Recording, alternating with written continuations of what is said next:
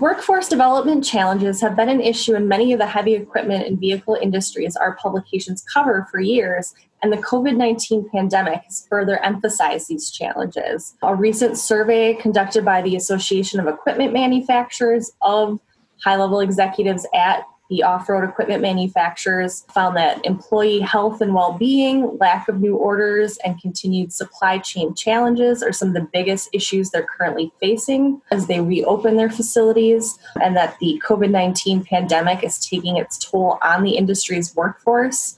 More than one third of respondents said they have furloughed up to half of their employees, while roughly one in five of respondents indicated that they have laid off as many as 10% of their workforce. The road to recovery is lined with warning signs, the survey went on to say, with equipment manufacturers who have furloughed workers, Nearly a third of them said that they would not bring anyone back to work. And for those who've laid off workers, eight out of 10 said that they will not rehire them based on current market conditions and challenges. So I don't know, Becky, what have you been hearing? The construction industry was a little bit different than the manufacturing sector because of the essential designation for construction in a number of areas. So work continued throughout the COVID shutdown albeit at a, slower pace than what has typically been seen. And now we're starting to see that workforce demand slowly build back up as the economy has started to open up and construction projects have started to get their momentum back.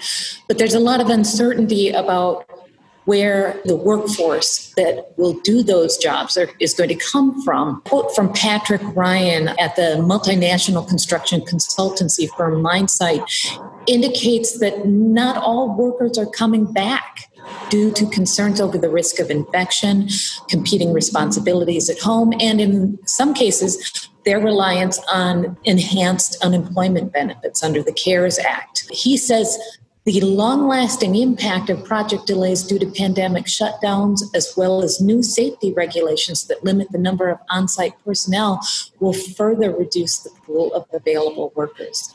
There is a big risk there that we will see the industry start to recover, but that the workforce will struggle to come back to where it was. We saw that after the Great Recession, where a number of workers ended up moving into other industries rather than coming back into construction due to the uncertainty. And then there's also the aging workforce. Uh, the average age of U.S. construction workers is somewhere between 45 to 55 years old. And due to COVID 19, obviously older workers are more susceptible. And so a percentage of these workers may choose to simply opt out to time out and start their retirement early because of the situation. And that's going to take their skills out of the marketplace and exacerbate that skills gap that we've already been seeing prior to the pandemic. So there's a lot of challenges out there, certainly. Yeah, we're hearing much the same. Retirement is also an issue for employees in the manufacturing sector, as is just attracting new younger workers. I recently spoke with Julie Davis, Workforce Development Director at the Association of Equipment Manufacturers, who noted these issues and play a brief clip of that interview now. So, what are some of the biggest challenges AEM is seeing currently within the off road equipment manufacturing industry? So, your timing of asking this question is perfect because we actually, as an association, just spent our first quarter interviewing our members and asking them that very question. And so, we worked with a third party firm, and based on the research that we got back and the information, we know that our companies are struggling to fill jobs. And in some cases, the number of open positions is actually impeding company growth definitely struggling with some of those issues. Companies are really struggling with both, you know, attracting employees and also keeping or retaining employees. And obviously the employment situation has changed over the past few months, mm-hmm. as everything else has. Right. However, companies are still looking at a growing number of retirements as a challenge, higher turnover rates, especially with younger generations, where companies then become a little bit hesitant to invest in that initial training with those folks. Companies indicated that they're really still concerned with our kind of poor industry perception, high schools being focused on college preparatory curriculum, and then kind of a stigma associated with trade jobs among parents, teachers, and counseling. That's kind of where things are sitting right now. What mm-hmm. I will say is that we also know that schools are kind of changing their tone when it comes to looking at the value of trades education, especially as college debt has been rising. So that's mm-hmm. a good thing. You can watch that full interview at oemoffhighway.com. Thanks, Sara. And I think one of the things that we're seeing is there's a need out there to demonstrate the opportunities that are available in the construction industry and change the perception of what that image is to reinforce the brand as a career path that gives a lot of potential, a lot of growth opportunity. And it doesn't matter whether you're a laborer, a truck driver, a project manager, estimator. There's a lot of different levels out there that are available to those who are interested. I had a chance to speak with Greg Sizemore at the Associated Builders and Contractors, and he believes that changing the perception of what construction is and the type of work that's being done starts at a local rather than a national level. I'd like to play a little clip from that interview with him. Here's what I want to tell you. I believe if we're going to do any significant changes on the image of the construction industry, it's going to happen locally. It will not be anybody standing on a stump in Washington, D.C. or at some capital across America beating on their chest saying that it is, it is, it is, because there's always skeptics to this type of thing. The reality is this most work in America today that is done by the construction industry are done by contractors with less than 50 employees. In most cases, there are less than 25 employees. Sure. The truth of the matter is, is that small business America. And that ought to mean something in the very backyard of every Mr. and Mrs. representative that may be out there representing a constituency. When I get the opportunity to talk to leadership around Washington, D.C. and across this country, if they're looking for me to solve the problem or have the answer, it's not going to happen. Let's take it back to our communities. Let's make sure we're having a conversation with the local PTA about why we don't have career technical education. Because you know what? We are small business America. We are pumping money into the economy. A successful contractor is making great money going into the economy where you stay in it, you pray in it, you play in it, whatever it may be. That's small business America. So I believe the ground game is local.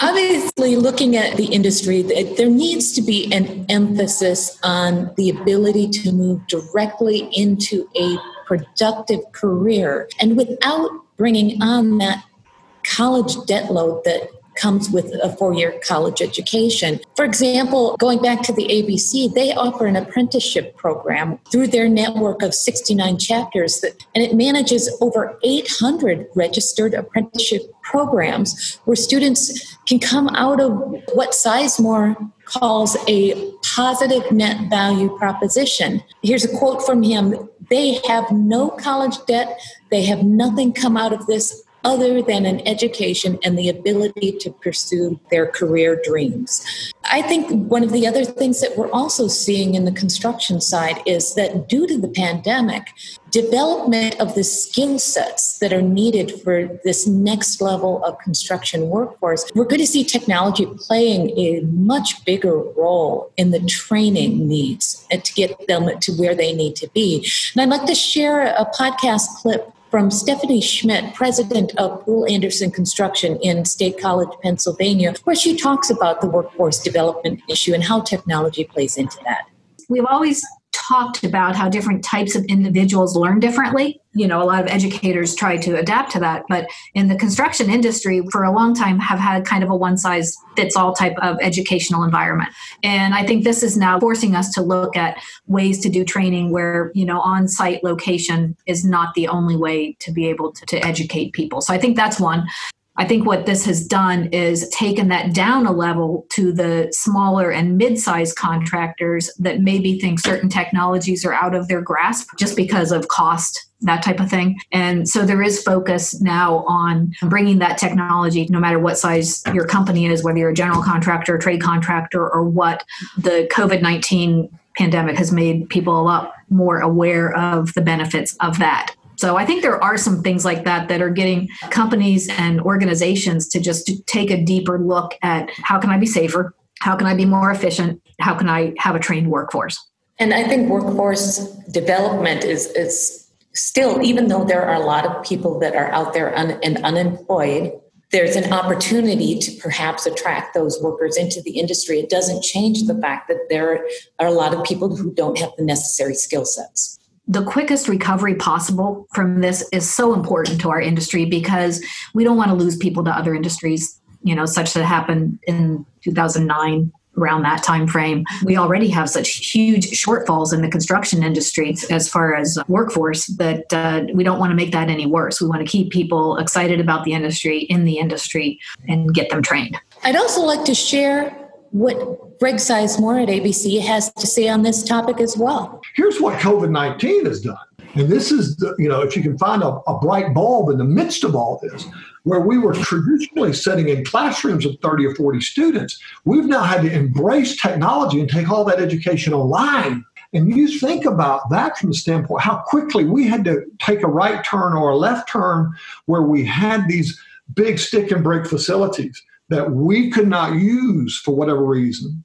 And now we had to take that online. And our education partners allowed us to do a lot of different things, very unique ways that we could host virtual classrooms you know, and we can actually do performance evaluations looking at people through a computer monitor. So just by that one effect, we technology has had a significant impact on the way we're distributing learning and how our learners are wanting to learn. And frankly, the younger generation coming into industry actually enjoys this better than going to a classroom after hours. And so we're seeing an uptick in people that are interested in their careers now going, hey, I can take this class online on my iPhone, on my iPad, on my desktop, whatever. I, I, can do that. And so they can actually pursue their degree just like going to some online university right here virtually. So clearly, technology is opening doors to building the next generation of workers. Sara, are you seeing a similar type of movement in the manufacturing sector? Yeah, we are. We're hearing that technology, it kind of is and will continue to play a role in especially helping overcome the skills gap and training. It's also playing a part into how manufacturers design their equipment. One of the big things is simplifying the operator cabs, kind of making them a little more similar to what somebody might have in their passenger car that they drive to and from work every day.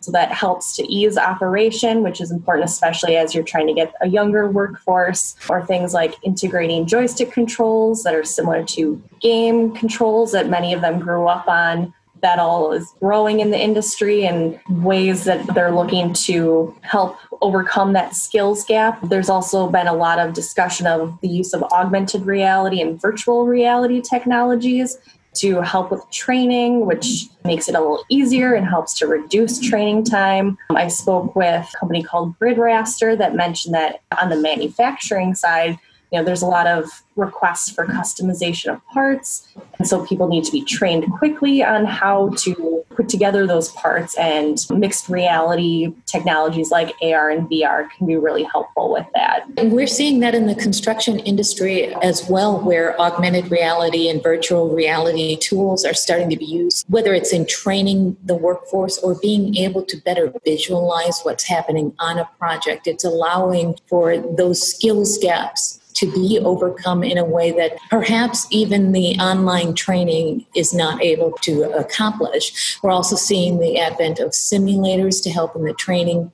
process. That's another technology that's becoming very prevalent. But also, you know, the advent of artificial intelligence and automation in the vehicles that are allowing less skilled operators to be able to quickly come up to speed in terms of their utilization of that equipment. Many of the functions on machines are now no longer under the control of the operator. It's automatic, they, they don't have to think about it, and it allows them to focus on what they're doing with that job site task. So clearly, there's a lot of technology that's going to help in getting that skills level up to where it needs to be. And I think honestly, there's just that much more to come. So I think we just need to stay tuned.